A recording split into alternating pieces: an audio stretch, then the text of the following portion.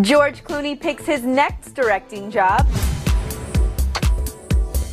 Hi guys, I'm Rebecca Prince for Hollyscoop. George Clooney is a dreamy man and an Oscar nominated actor, but he's also a pretty good director. Following his political drama The Ides of March, Clooney has decided to bring another political story to the big screen.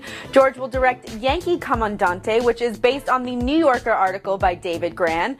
Clooney will again team up with Grant Heslov to produce the true story of an American named William Alexander Morgan who helped Fidel Castro overthrow the Cuban government.